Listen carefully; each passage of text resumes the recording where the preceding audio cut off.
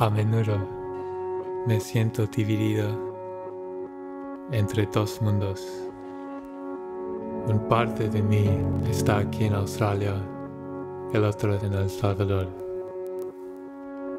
Lo que más me encanta de la música es su poder de transportarme, a veces con una sola nota.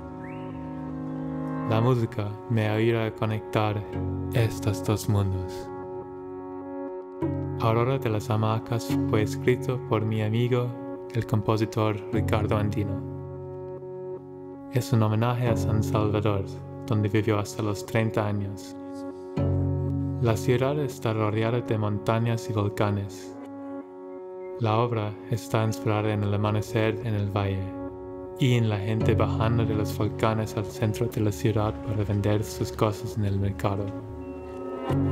La música regresa al mismo pulso y la gente vuelve a sus casas en los volcanes.